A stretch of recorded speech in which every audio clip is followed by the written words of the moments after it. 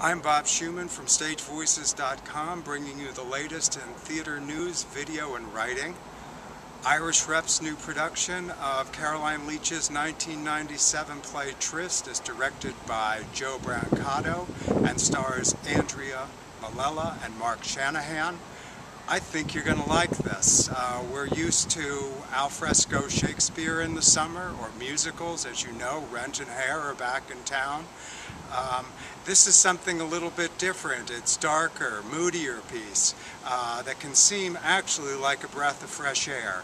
It's going to remind you of a Hitchcock, maybe a, a Suspicion or Psycho, maybe a part for Cary Grant if he allowed himself to go on after doing his uh, gritty cockney role in A But the Lonely Heart, Tryst is a mature sex thriller with a twist that emphasizes entertainment qualities as opposed to the kind of uh, indictments you'll find in a Sweeney Todd or uh, Shaw or in Dickens. Uh, we're set in the lower depths of Edwardian England, in London and a seaside resort. resort.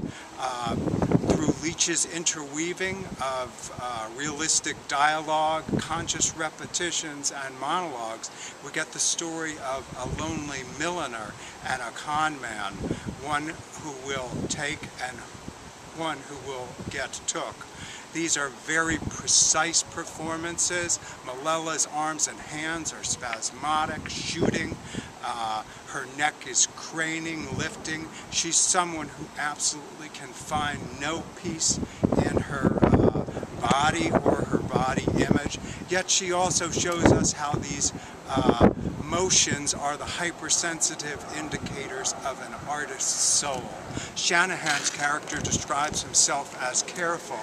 Watch the care with which he pours buckets of water for a bath into an aluminum looks like a coffin. If you only know this actor from his likable comic work, you're going to be surprised by the shading that he gives his role here. You cannot go wrong at the Irish Repertory Theatre. You do not have to be Irish to go to the Irish Repertory Theatre. It's located at 132 West 22nd Street or visit them on the web at www.irishrep.org. All you have to want is to see theater done right. Brancato and his team do that for Tryst, from lighting sets, the orange period brown wedding dress, uh, brought to be sensible to the deep uh, string music which is played in the background. Somebody might even see this drama as being uh, fashioned into a kind of chamber musical.